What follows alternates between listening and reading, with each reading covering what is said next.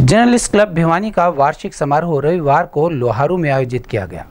इस कार्यक्रम में मुख्य अतिथि के रूप में कृषि मंत्री जेपी दलाल ने शिरकत की और देश के विकास में पत्रकारों की भूमिका को अहम योगदान बताया। वहीं इस अवसर पर तृतीय देवव्रत विशिष्ट स्मृति पुरस्कार भिवानी के वरिष्ठ पत्रकार गोपीनाथ आचार्य को दिया गया।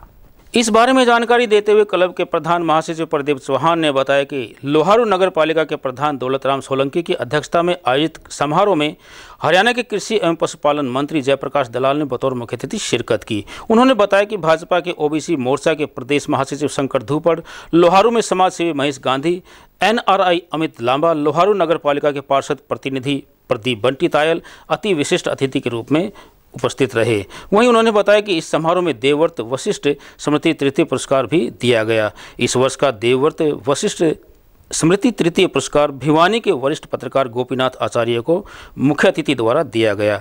वहीं इस अवसर पर मुख्य अतिथि कृषि मंत्री जेपी दलाल ने कहा कि किसी भी देश के विकास में पत्रकारों की विशेष भूमिका होती है, क्योंकि पत्रकार ही एक ऐसा माध्यम है जो दूर दराज या गाँव में गाँव की पृष्ठभूमि में रहने वाले नागरिकों की समस्याओं की, वह उनकी आवाज़ को सरकार तक पहुंचाता है। वहीं इस अवसर पर जर्नलिस्ट क्लब के प्रधान ईश्वर धामू ने पत्रकारों से आग्रह किया कि वे निष्ठा व ईमानदारी के साथ जनता की समस्याओं को सरकार तक पहुँचाए। इस अवसर पर भारी संख्या में पत्रकार व अन्य जनसमूह उपस्थित रहा।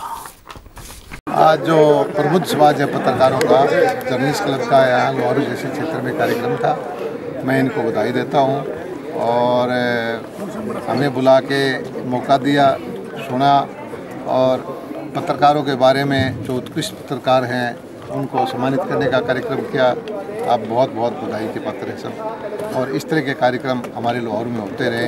हम आगे जो है, कार्यक्रम होगा इनको आमंत्रित करते हैं कि हमारे यहाँ ये हर साल कार्यक्रम जर्नलिस्ट क्लब द्वारा स्थापित ये तीसरा अवार्ड दिया गया है। इससे पहले हम दो अवार्ड और दे चुके हैं।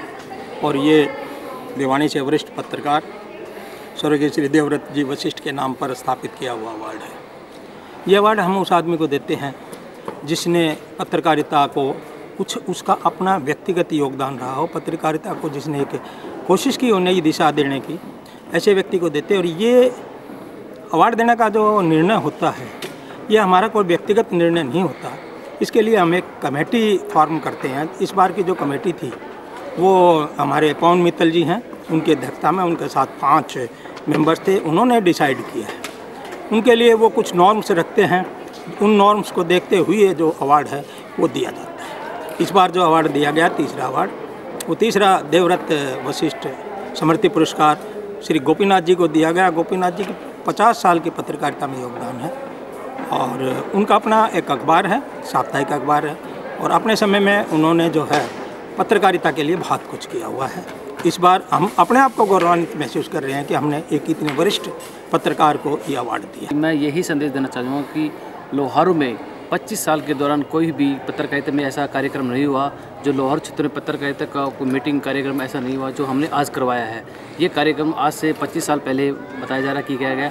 ये आज जो कार्यक्रम है, वो जर्नलिस्ट क्लब भिवानी के द्वारा लोहारू इकाई के माध्यम से यहाँ कार्य करवाया गया है, जिसके अंदर कृषि मंत्री जे पी दलाल जी विशिष्ट मुख्य अतिथि के रूप में शिरकत मैं ये चाहूँगा कि जर्नलिस्ट क्लब दिन दुगनी, रात चौगनी करे, ये मैं श्रेय अपना ईश्वर धामू जी को देना चाहूँगा। रविवार को संत निरंकारी चैरिटेबल फाउंडेशन द्वारा संत निरंकारी मिशन के चौथे गुरु बाबा हरदेव सिंह जी महाराज का छियासठवा जन्म दिवस मनाया गया।